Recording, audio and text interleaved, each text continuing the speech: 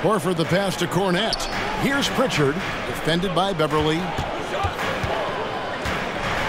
Brown jams it in. This guy, one of the most elite athletes in the game, Jaylen Brown, finishes beautifully.